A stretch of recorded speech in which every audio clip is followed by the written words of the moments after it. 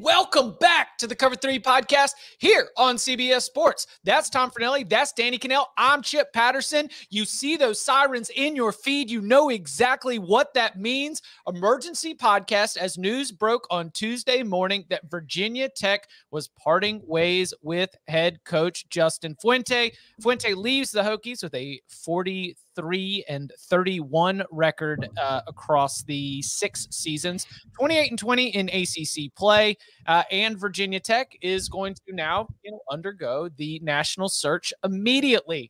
There's a, a, lot of different ways to attack this, of course, including what kind of candidates we think might be there for Virginia Tech, uh, the timing of the job as well, timing of the decision as well. You know, Bud Elliott, many more ha- have mentioned on this podcast or reported that there was a December date that the buyout was going to drop for Justin Fuente. We said, well, we think Justin Fuente's gone, but we think it won't be until December. And so, with this decision coming on November 16th, I wanted to ask I mean, is does that mean it's $2.5 million for a recruiting class? Does that mean it's $2.5 million to not miss out on a coach?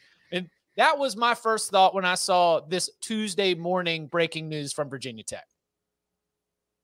Yeah, I, I, was surprised to it this morning too for the same reason. I think that's got to be, you know, they, they just they were trying to make the choice. What's more important? Do we try to get a coach in as soon as possible and save this recruiting class and give them enough time to you know finish it off and keep players and maybe add some new players, or do we wait till December, save some money, but possibly push the program back further a year or two, depending on what the ramifications are and who the hire is and how long that process takes.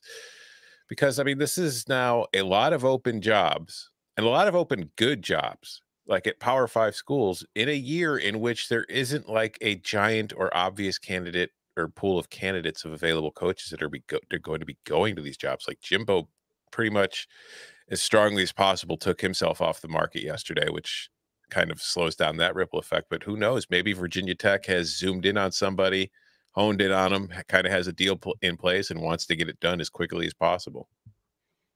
How?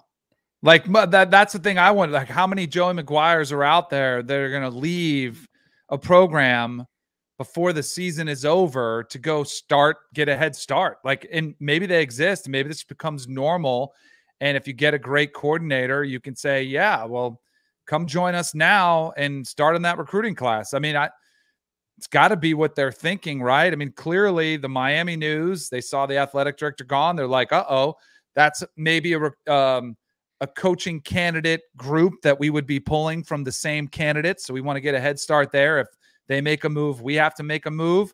It's just insanity. Like this is crazy. This is number 12 now, right? 12 mm-hmm. coach we've seen fired, and the list probably is going to continue to grow.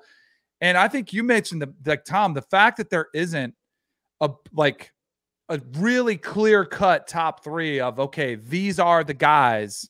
I think is going to make this fascinating. I think there's going to be a lot of fan bases. I don't know if Virginia Tech is in this one that are going to be like, we fired our guy because of that. Like for this guy, like that's where we're going. I think there's going to be some uninspiring hires that are made and then you're just making moves to make moves. Now, I think Justin Fuente was at a point we all agreed. We kind of came into this season. Let's see what happened with Justin Fuente. Maybe the North Carolina win, maybe it felt like okay, it's heading the right direction, but it has not translated.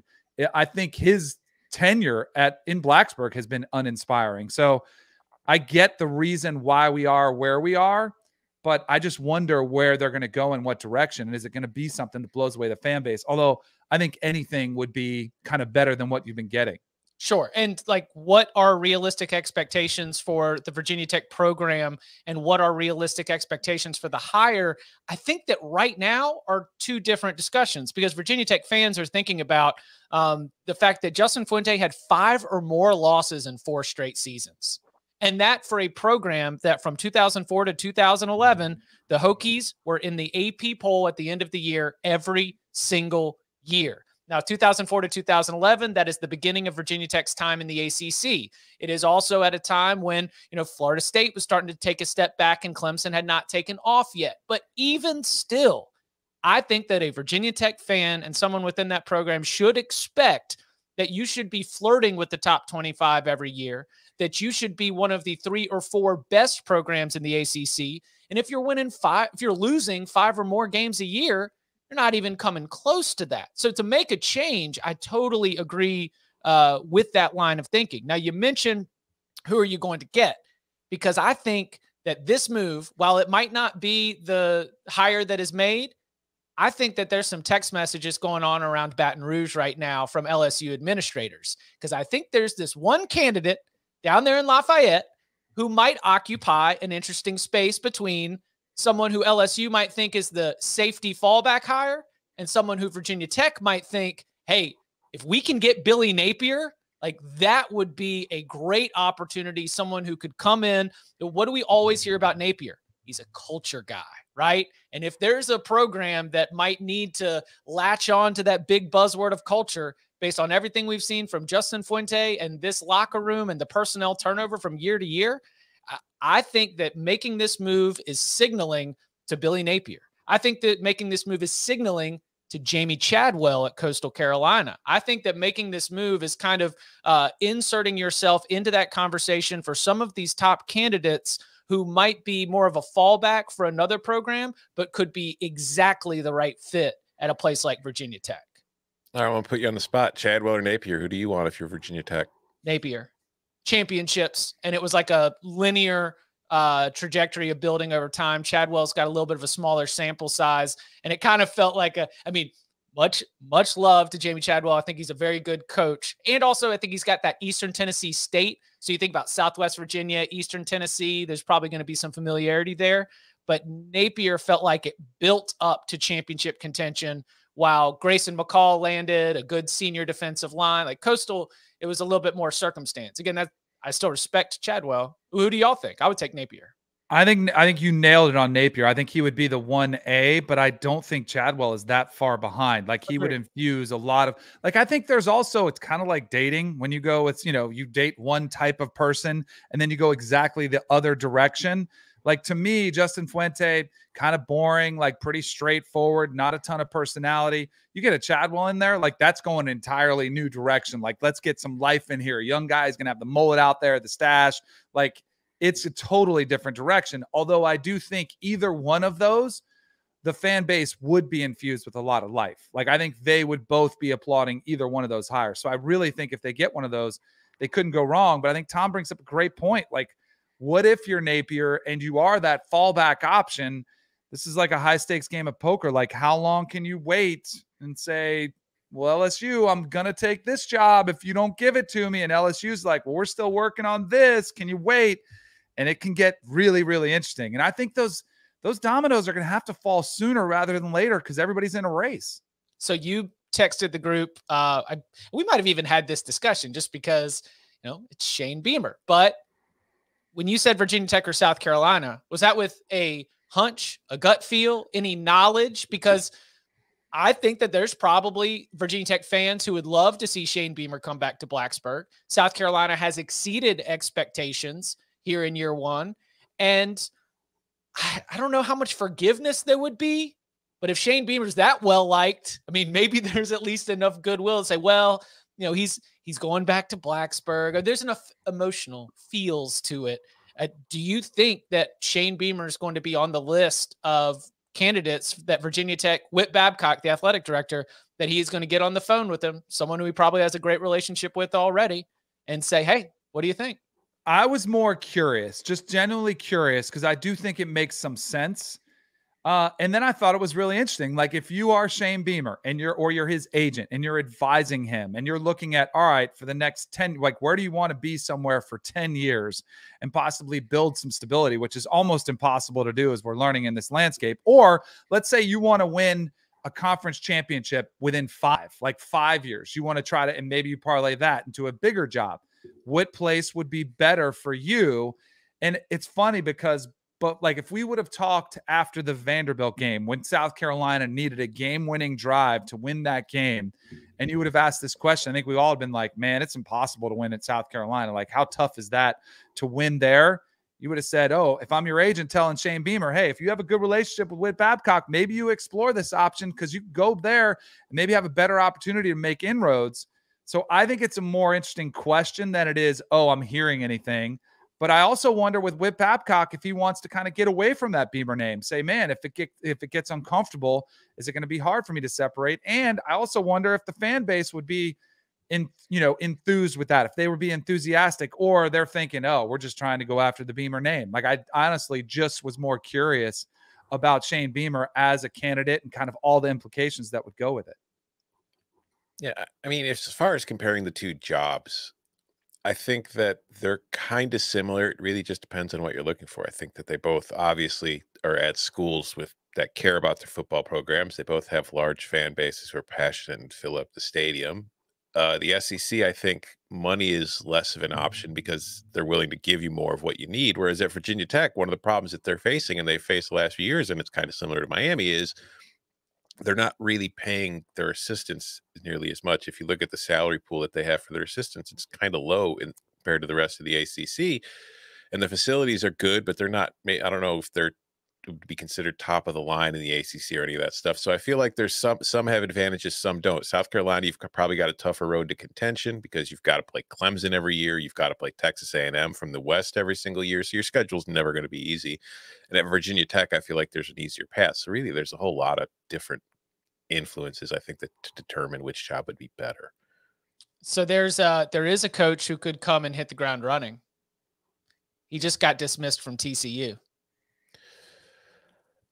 Gary yeah. Patterson could be introduced on Friday and immediately start recruiting.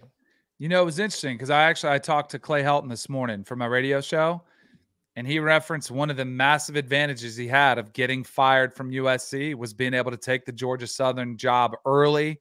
He's having time to scout his team, look at the personnel, kind of take his time, and then really target specifically on what they want to recruit and kind of hit the ground running. So that's one of the like I think it. I think, I think it it'd be good. I think it'd be great. Like if and if you're a Virginia Tech fan and you're not excited by that, I think man, you're a little bit delusional in that position. But I think that would be a hire that would make a lot of sense, and you could get out in front of the recruiting cycle. Mm. Any anyone else uh, come to mind for Virginia Tech? Uh, I mean, if you're Virginia Tech, do you go after Dave Clawson? Yeah, Oh, I mean, you at least have him on your list. Dave Clawson should be on the list of feel him out for any Power Five job just because of the job that he's done right now. However, there are coaches who don't show up in on the hot lists that all the insiders put out. And it's because they don't really feel like being on the hot list, or specifically their agent, if they even have an agent or lean on their agent for such things, doesn't isn't really out in that business. So yeah, I think you pick up the call and you reach out to Clawson or Clawson's representatives and you know sort of see where he's at. But I don't expect that to reach the point. How about this? I don't expect that reach to the point of final round of interviews. Yes, you reach out. I would not predict that that is uh, that's where Dave Clawson uh, leaves if he does end up leaving Wake Forest. Is this a job that Mike Elko finally takes?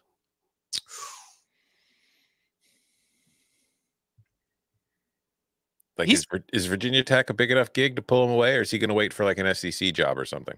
I don't know. Elko. Pay him a ton. He can use this for a raise. I guarantee you that because Texas A&M is, mm-hmm. you know, they're committed to Jimbo. We've talked about that, and they got the top five recruiting class, and he's out there talking about it. They don't want to lose their defensive coordinator now, and I think if you're Elko, you might be able to wait and see what happens in another year. Like if you're patient, or I don't know, Baylor came open, if like there are some other opportunities I think where he would say, "Let me pass on this one."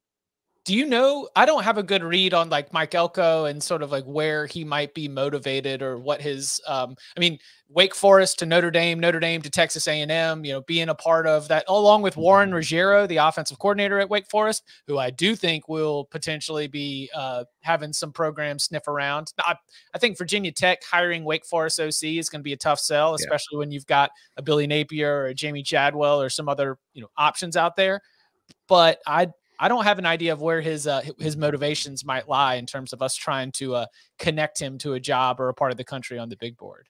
But yeah, not him specifically, but like we were mentioning earlier in the show, some of these schools have to realize their fan bases better prepare themselves for hiring the Wake Forest offensive coordinator when you're thinking of somebody else because like we were saying there's a lot of open jobs and there's not a ton of obvious candidates for any of them. You know, based on the proximity, I would like if if this has happened three years down the line and Marshall's won a Conference USA title or two, I think Charles Huff would be a really interesting pick, especially for what he could do on the recruiting trail. Mm-hmm. I don't know if this is the job that a Marcus Freeman would leave Notre Dame for. You know, there's there's a couple of uh, you know, if you want to go with the ace recruiter role as opposed to you know the the wiz not the wizard, but the um you know more schematic football-y type side of it. I think that those are probably two other names that you have to have on any Power Five list or potentially could. But I think that if I'm coming back to Napier or Chadwell, and if it's either one of those, and I'm a Virginia Tech fan, I'm happy. Yeah, I think it's probably going to be one of those two. In fact, I mean, I would, I would probably bet on it being Napier. I just think that he's he he knows he's not high on LSU's list, and he probably has a good idea of what LSU is going to try to do, and he doesn't want to sit there because, like, if you look at his team, it's a very good team. He's done a great job of building that program, but he's losing a lot of his top players after this season, and there's no guarantee that he's going to be as attractive of an option at this time next year. So he might just be at the point where he's like, it is a Power Five job at a program with a good history that has shown it can win. I can't just sit here and wait around anymore. I got to go. Do you go before the end of the season? I hope not, but okay. I I will not like it. Danny will not like it. You will not like it. We will get used to it because I think it's going to start happening. And it's like I don't. At the same time, like the first coach that does it probably doesn't like doing it either. It's just going to be a situation where kind of have to, yeah.